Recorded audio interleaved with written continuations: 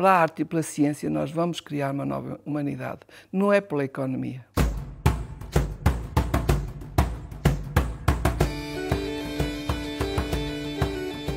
Por que é que uma oliveira é mais importante para si? Não se pode deixar as árvores centenárias serem destruídas. O que é normal no corpo humano é realmente transformar-se e engrossar, como uma oliveira.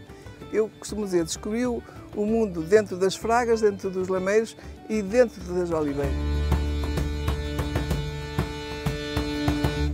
O que eu queria perguntar é se as mulheres velhas podem ser um colo de humanidade. Eu acho que as mulheres novas e as velhas podem ser um colo. Mas as velhas são mais sábias, porque já viveram.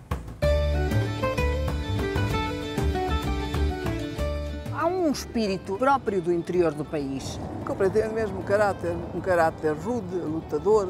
Há um sentido de resistência às agruras maior remédio. aqui. No fundo, a graça retrata sempre o solo comum da humanidade. E é por isso que nos representa a todos. Eu acho que só os medíocres é que não se apercebem da qualidade dos outros. E isso torna-me tão angustiada, mesmo ao nível da política. Eh, há pessoas que fizeram suas carreiras só na política. Humanamente eles não são completos. E nós, artistas, mesmo que nos coloquem uma medalha, tem que ter espaço e tempo para a sua criação.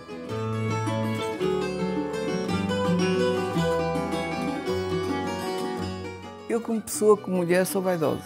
Mas como artista, como artista não sou vaidosa sou uma pessoa muito exigente comigo e tenho sempre a sensação que nunca estou a fazer aquilo que eu gostaria de fazer. Estou sempre insatisfeita. Há uma pronúncia própria da sua aldeia. Às vezes era um bocado cantada, quando chamavam uns pelos outros. Uns pelos outros. outros. Eu falo assim, está a ver? Alterar a forma de falar é alterar um pensamento. É uma das maiores pintoras do mundo contemporâneo. Há em mim uma, não é superioridade, mas há uma certeza de quem eu sou.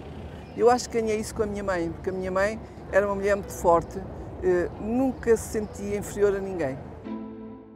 Retrata o encontro entre a violência e a ternura. A forma com que eu sempre encarei o mundo é de facto cheio de dramas e de muitas tragédias. É a tragédia que nos ergue. É a tragédia, é as injustiças, é, é uma forma uh, muito estranha do português viver. Graça Moraes, primeira pessoa.